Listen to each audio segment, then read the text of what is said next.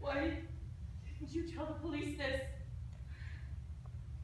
Ah, I did wrong to be sure.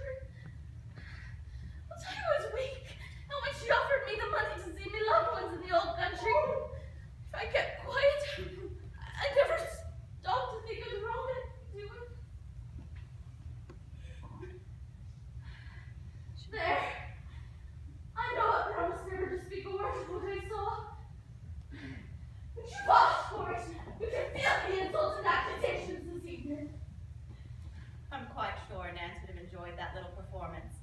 But you haven't told Emma how I disposed of the clothing or the axe. Surely you're not pretending you've forgotten. Well, you know how it is. We old women living on our own.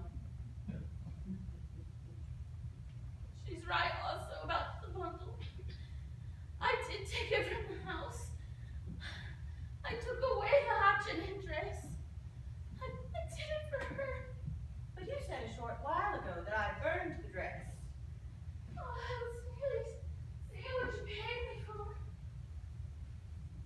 But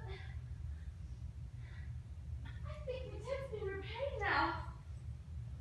And I'm free to speak my mind. And I'm thinking there'd be some who'd like to know the truth. If you feel folk are interested in your version of events, then don't hesitate, hesitate on my account, Bridget. Perhaps we could even arrange a fresh trial. Ah, you wouldn't be after wanting that. This time they'd hang you. Or you. That slanderous talk you'd be making, and I'm warning you, I'm nobody's skivvy any longer, so watch your tongue! It is precisely because you were a skivvy that you are able to stand there talking to me today. It was because you seemed a stupid, round-faced Irish maid that you were able to evade suspicion. Consider yourself one of the luckiest women in the world on that account, Bridget, because your alibi didn't bear looking into.